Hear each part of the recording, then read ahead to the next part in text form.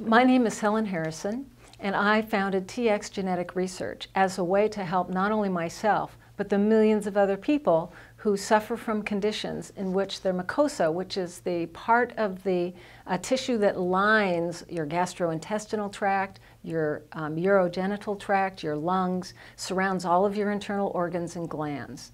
And so when that tissue starts to break down, it becomes leaky, and then terrible environmental influences that from food or the air can actually get into our organs and make them toxic.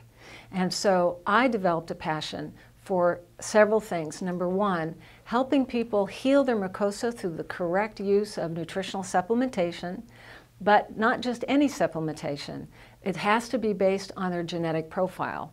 And so I have developed a very large gene array, which is a list of genes uh, that are affecting the function of the mucosa and the various ways in which it can be damaged.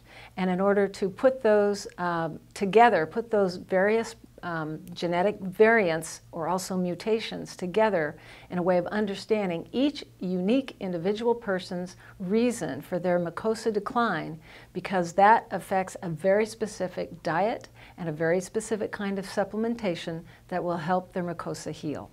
My particular orientation is what's called a tissue systems approach.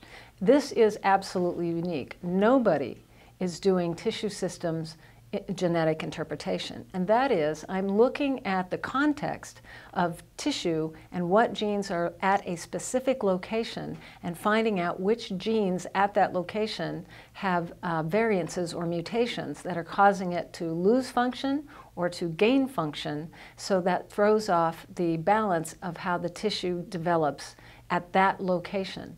So nobody else has developed a tissue systems approach.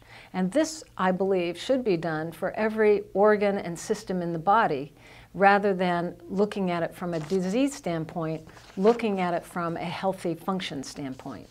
There are three reasons why Murrieta is an excellent location. Number one, the city is committed to um, the frontiers of healthcare.